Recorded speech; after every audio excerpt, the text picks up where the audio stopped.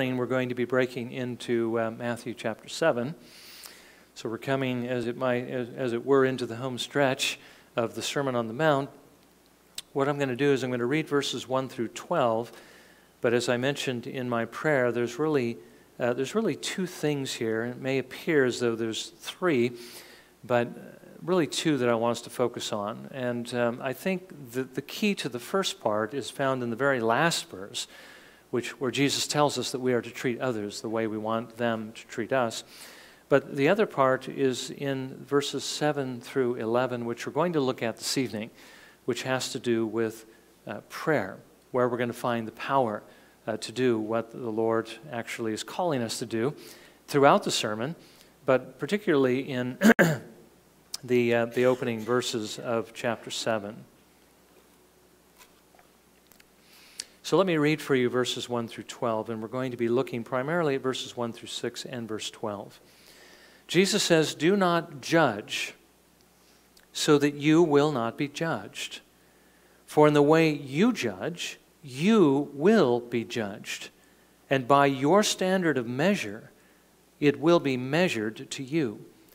Why do you look at the speck that is in your brother's eye, but do not notice the log that is in your own eye? Or how can you say to your brother, Let me take the speck out of your eye, and behold, the log is in your own eye? You hypocrite. First take the log out of your own eye, and then you will see clearly to take the speck out of your brother's eye. Do not give what is holy to dogs, and do not throw your pearls before swine, or they will trample them under their feet and turn and tear you to pieces. Ask, and it will be given to you. Seek, and you will find. Knock, and it will be open to you. For everyone who asks receives, and he who seeks finds, and to him who knocks it will be opened. Or what man is there among you who, when his son asks for a loaf, will give him a stone? Or if he asks for a fish, he will not give him a snake, will he? If you then, being evil, know how to give good gifts to your children, how much more will your heavenly Father who is in heaven, or your Father who is in heaven, give what is good to those who ask him? In everything, therefore, treat people the same way you want them to treat you, for this is the law and the prophets. May the Lord bless his word again to our hearing uh, this morning.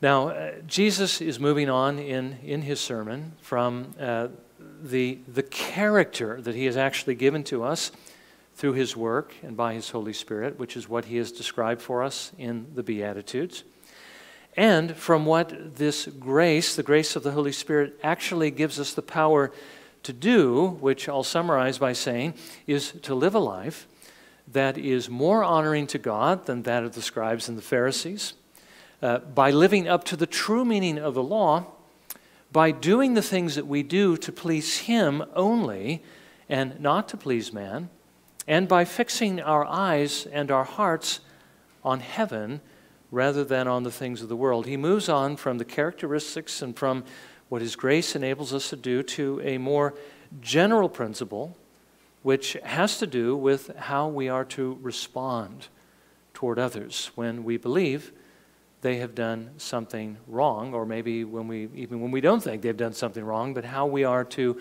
respond towards them. And that is, of course, by not judging them. Now, we, we've all heard, I think perhaps, even perhaps from another believer, we've heard them say at one time or another, do not judge lest you be judged, by which they mean, you can't judge me for what I'm doing even if I am doing something wrong, because Jesus says you do not have that right. Somehow thinking that Jesus has kind of given us a gag order that prevents us from evaluating whether people do and calling them into account for it. But is that really what Jesus is saying here? Is he telling us that we should never compare what other people do by his word and decide whether it's good or bad? And then respond accordingly. If that were true, if that's what Jesus actually was saying, then there's at least one thing that he tells us to do in our passage that we wouldn't be able to do, and that is uh, to determine whether or not to give the gospel to someone, Well, that's not what Jesus is actually saying, but what he is telling us here is this is that we need to make sure that we use our evaluations, our judgments, our determinations about what other people are doing to help them rather than to tear them down. Do not judge lest you be judged. Now, Jesus says we need to do this, otherwise, we may expect the same kind of treatment that we actually dish out to others.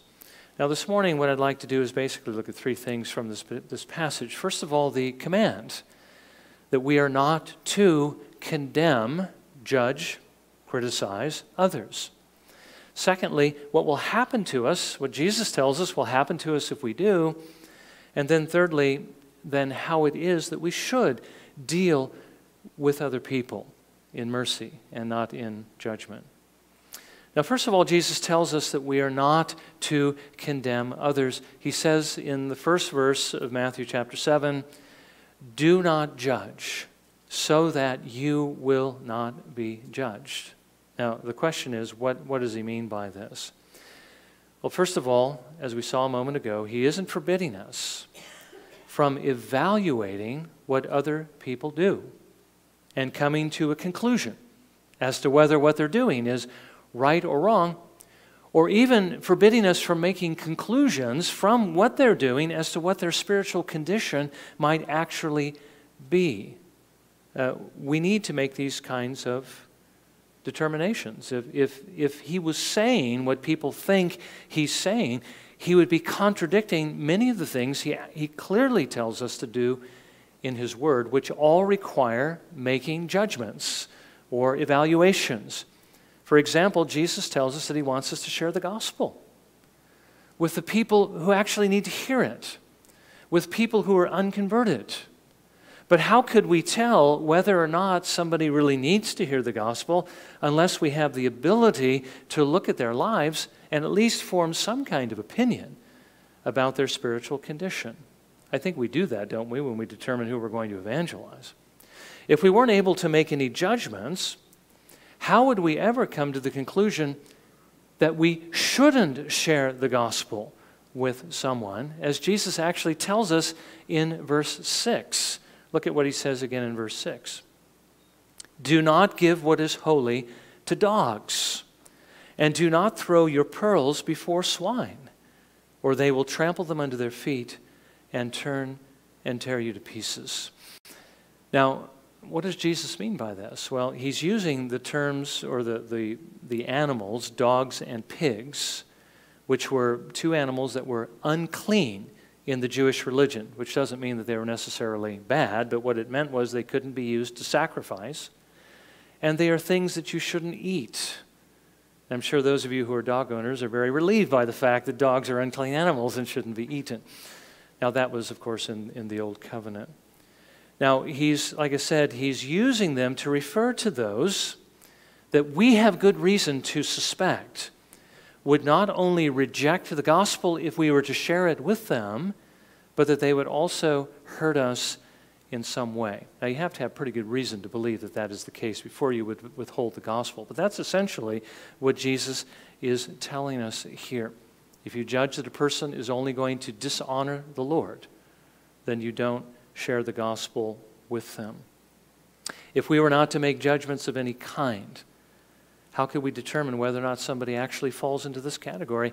And how then would we be able to help one another turn from the things that, that we do sometimes that we know would ultimately harm us unless we can, could conclude that what, what one another is doing is very likely to do exactly that? Okay, we have to be able to make judgments. We have to be able to make determinations. We have to be able to make comparisons with what people are doing, with what the Bible actually says. Not all judgments are prohibited by what Jesus is saying here. So the question is what actually is he addressing? Well, he's telling us, I believe, to be careful to use what we see, our comparisons, our judgments, our evaluations to help other people rather than to condemn them. Now, he's likely addressing here again, I believe, the scribes and the Pharisees, whom you know, thought they were perfect, thought they were righteous before God, the ones who would pull in their skirts when they saw unclean people around them, the ones who love to look at other people and to see their faults and to condemn them and declare them to be unclean because of those faults so that they could feel better about themselves. Remember how the Pharisee prayed when he was in the temple with the tax collector? He says in Luke 18, verse 10, this was his prayer God, I thank you that I am not like other people, swindlers, unjust, adulterers, or even like this tax collector, the one who was praying next to him. Pharisees were very self righteous, very critical of others, very judgmental. Whatever they saw, they despised people for it. Now, we do have to recognize, as, as Jesus is telling us about this, that they're not the only ones who actually do this. I mean, we all do this don't we, to one degree or another? Uh, we all can have a critical spirit. We can all uh, attack the faults that we see in other people rather than dealing with them the way that we should. Now, sometimes we, you know, criticizing, I think, is a pretty good term to as a synonym for what it is that Jesus is talking about here. He's not saying that we're necessarily condemning them to hell or judging them to be unworthy of salvation or something of that effect, although he may mean it in that extreme sense. But we can do it in, in perhaps lesser degrees. I thought maybe looking at some synonyms for what Jesus is talking about here would help us to see more clearly whether we actually are doing this. So the word he's using here to judge means to condemn, it also means to criticize, to tear down, to find fault with, to censure, to cast aspersion on, to disparage, or to denigrate. Now, again, all these are negative things, attacks on people for the particular faults they have. But if we still don't think the shoe fits, maybe we could look at some more modern vernacular. Uh, this word also means to give bad press to, to run down, to knock, to slam, roast, hammer, lay into, take apart, pick holes in, nitpick. It also means to trash somebody. That, that's exactly what Jesus is talking about here. And we realize that, again, some of us might be wired differently. Some of us might have more of a disposition to do this than others. But, but even if we're not the kind of person who does this openly, we can still do it secretly in our hearts. And there's a reason why we have this propensity. Certainly, it all boils down to the sin that we still have to deal with. But I think there are at least three reasons why we might be tempted to do something like this. First of all, like the Pharisees, we might want to pick on others so that we can look better to ourselves. And that's something we really need to guard against. Maybe we'll do it because we want revenge. Maybe they put us down. Maybe they talk trash about us, and so we're going to trash them. Well, Jesus tells us that we need to return a blessing if somebody curses us or turn the other cheek if they slap us. Or maybe it's because our patience begins to wear thin with someone and we begin to resent them. Maybe certain things about them which love could cover, but the love begins to grow weak and the things begin to get bigger than they really are, and so we begin to attack them. Now, this is really what Jesus is pointing at uh, that we should not judge, criticize, put other people down, pick on their faults, trash them, and so forth. And it should concern us not to do this, particularly because of what Jesus says next. He tells us, secondly, what will happen to us if we actually do this, if we are critical of others, if we condemn other people. Jesus tells us that, he, that, that we also will be criticized, that we also will be treated in the way that we are treating others. Again, notice Matthew 7, verse 1. He says, Do not judge so that you will not be judged. Have you ever heard the old expression, whatever goes around comes around? Have you heard that before? Whatever you do to others is going to come back to you, whether it's good or bad. Now, I know that The world, false religions have a word for that. They call it karma. We don't believe in karma. But we do believe that God actually makes this happen. Uh, he does it, as we've already seen, to teach us what it looks like, what it feels like when you do this to someone else. He told us, for instance, that, um, you know, that we should show mercy to others, otherwise, you know, the Lord will not show mercy to us. And he's reminding us of a general principle that always applies in every circumstance, and that is we're always going to reap what we sow. Paul writes to the Galatians in Galatians 6, verse 7. He says, Do not be deceived. God is not mocked, for whatever a man sows, this he will also reap.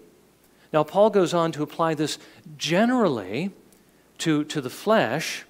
He says, If you sow to the flesh, you will reap corruption.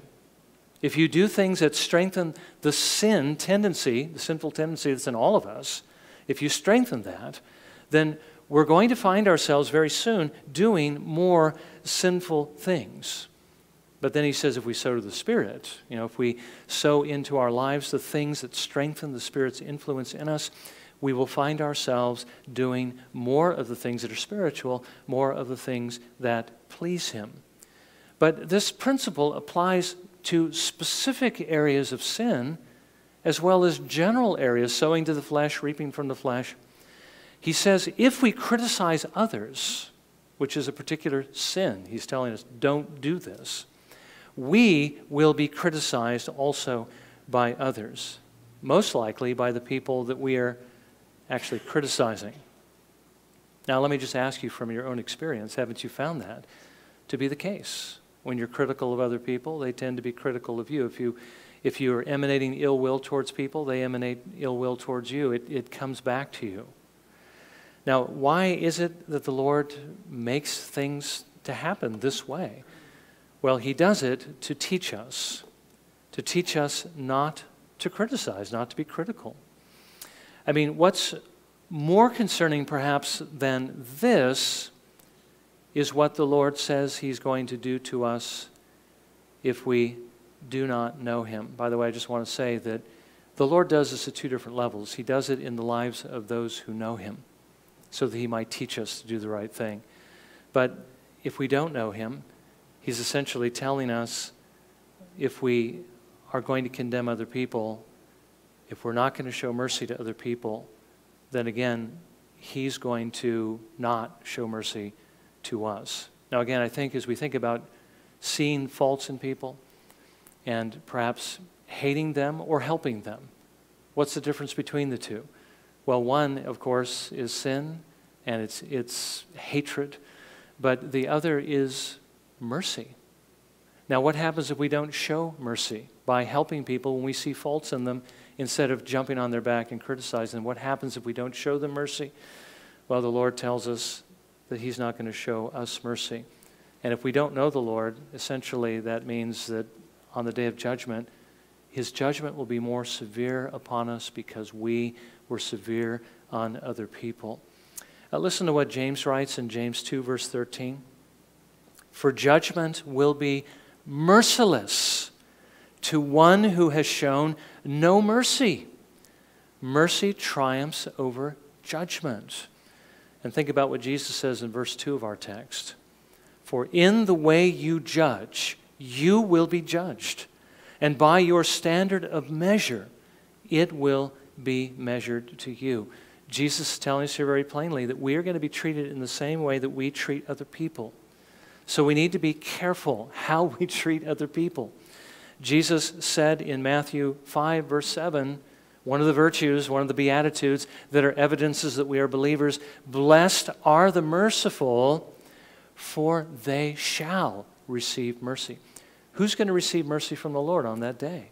It's going to be those who showed mercy. And again, not because we worked our way into the mercy of God by showing mercy, but by showing mercy, we are showing that we have the Spirit of God living in us, working the image of Jesus in us. We show ourselves to be true believers. Now, if we understand what Jesus is saying here and we want to do what Jesus calls us to do, how should we go about doing it? Well, Jesus tells us what to do here as well. First of all, he tells us that when we see a fault in somebody else and we want to help them, we need to make sure that we deal with our own problem in that area before we seek to help them. Look at what Jesus says in verses 3 and 4 of our passage. Why do you look at the speck that is in your brother's eye, but do not notice the log that is in your own eye? Or how can you say to your brother, Let me take the speck out of your eye, and behold, the log is in your own eye? Jesus is telling us that before we help a brother or sister, we first need to take a good look at ourselves. Are we guilty of the same thing that we're trying to correct them of? Are we perhaps even worse offenders in that area? Because he says, you know, it's like having a log in our eye while we're trying to take a speck out of our brother's eye. We have a more serious problem that we need to deal with. Now, Jesus is telling us if we don't deal with our own problems first, we're not really going to be able to do them much good. For one reason, if we try to deal with somebody else's problem when we have a problem, either in the same area or a more glaring problem, we're going to be guilty of the sin of hypocrisy. Now, I don't think Jesus meant that necessarily maliciously, although perhaps, you know, he never meant anything maliciously. But I think he was referring again to the Pharisees because this is what the Pharisees were hypocrites. But he's pointing out that we can be guilty of the same thing if we do the same things they do. Jesus says in verse 5 You hypocrite, first take the log out of your own eye, and then you will see clearly to take the speck out of your brother's eye. No one is going to accept correction from someone who's even worse than they are. We need to deal with our sins first. And I think for another reason why we need to deal with our sin first is, is this because how are we going to hope to help a brother or sister who has a problem in a particular area unless we have been able successfully to deal with our problem first? We, you know, once we have dealt with it, once we have been humbled by our own sins in this area, we're actually going to be in the best position to help them. You know, it's really when we're humble that, that we're usable by the Lord. And think about it. If, if you've just been you know, humbled by the Lord and brought to repentance over a particular sin, and He's freed you from it, how much you're going to be able to help your neighbor who has the same problem. For one thing, you're going to have a great deal of sympathy toward their particular issue because you just had to deal with it, and you're going to deal with them more tenderly. And I believe that's what Paul has in mind when he writes to the Galatians of what should be true of us before we try to help somebody with their particular sin. He says, Brethren, even if anyone is caught in any trespass, you who are spiritual, you who are filled with the Spirit, who have these graces of the Beatitudes, not the least of which is the poor in spirit, restore such a one in a spirit of gentleness. Notice, restore. Don't you know, take it and drive it through them and make them feel it even more severely. Don't attack them but restore them in a spirit of gentleness, each one looking to yourself so that you too will not be tempted, even if you perhaps are not liable to that particular temptation. Uh, at least you don't think you are. You still need to be aware that you might be, and it's only by the grace of God that you're not in the same situation.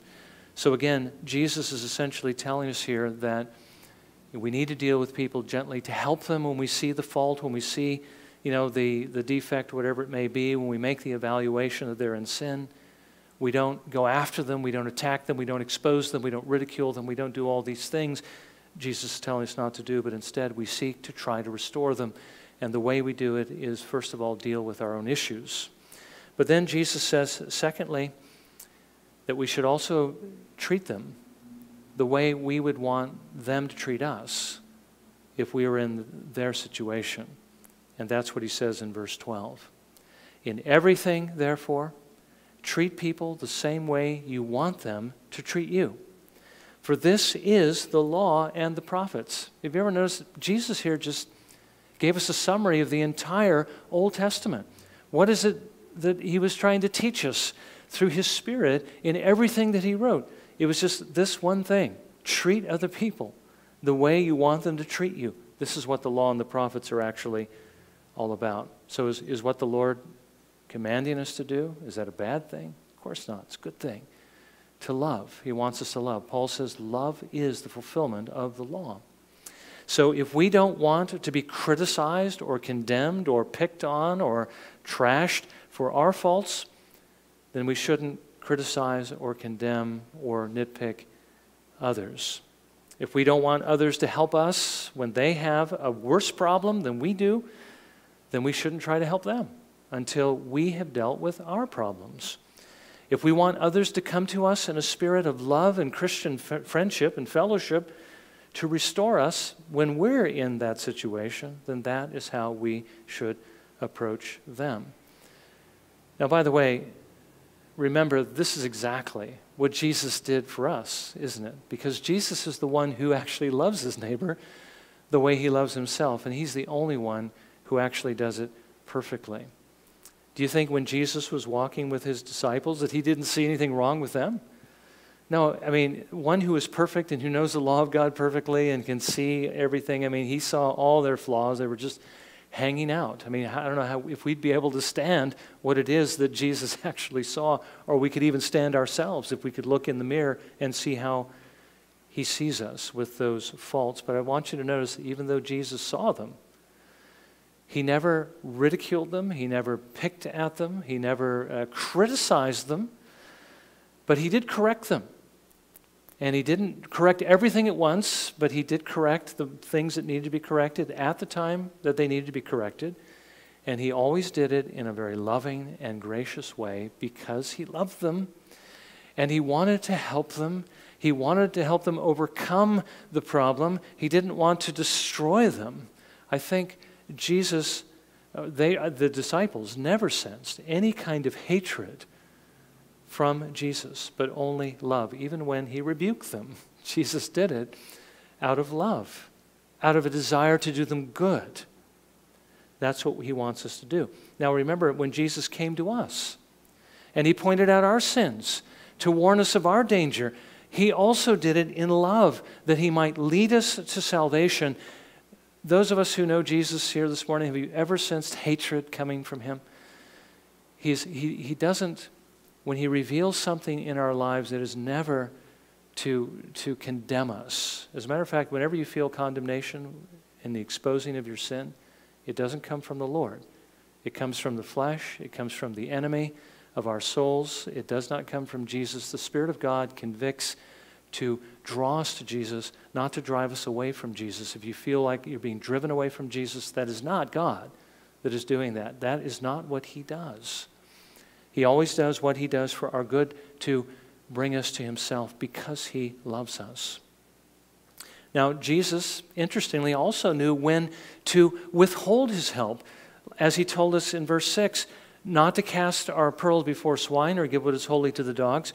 There were times when he was faced with dogs and with swine, that is, with the scribes and the Pharisees, when he was unwilling to entrust them with the pearls of the gospel or even with his wise and gracious counsel. There was one occasion where he told them, one group at least, not the whole group, but the group that had accused him of casting out demons by the devil, he says, You've committed a sin that is unpardonable.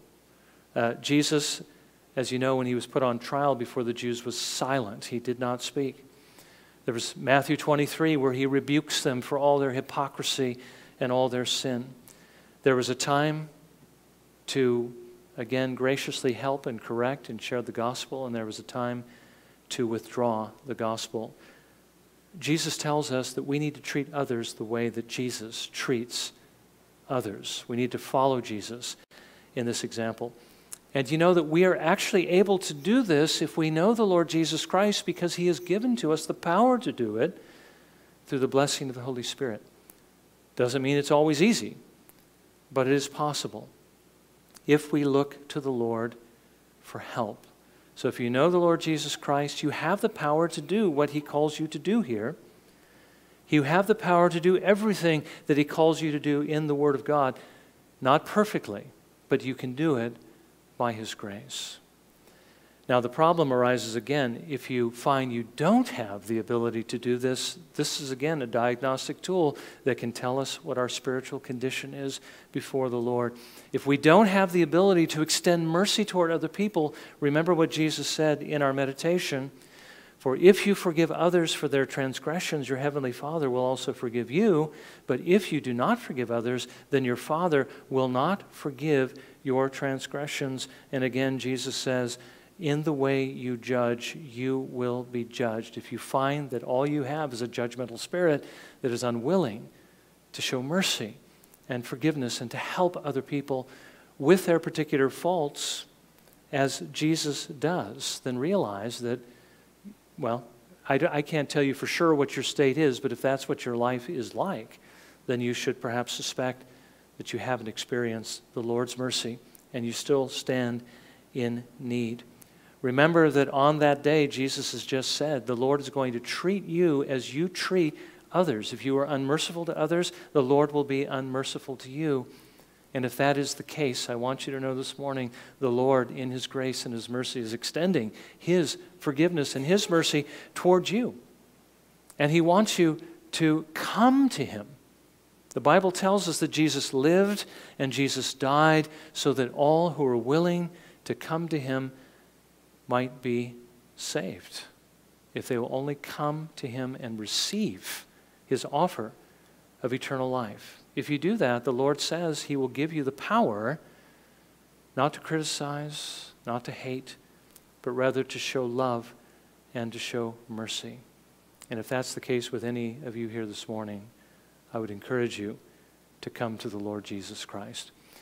Well, that, that concludes the, uh, the first part of what we're looking at this morning. Uh, let me just say this evening where are we going to find the power to do what Jesus calls us to do? Well, we find it in the power of the Holy Spirit, but we get more of the Spirit through prayer. This, this evening, we're going to look at prayer, the power of prayer, the promise of prayer. We're going to be encouraged to seek the Lord not only for this, but for everything that we need.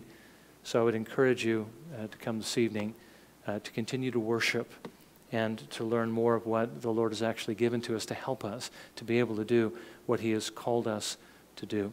But let's bow for just a moment of prayer now, shall we? And let's ask the Lord to apply what we've heard uh, to our lives and to give us the grace to be able to do it.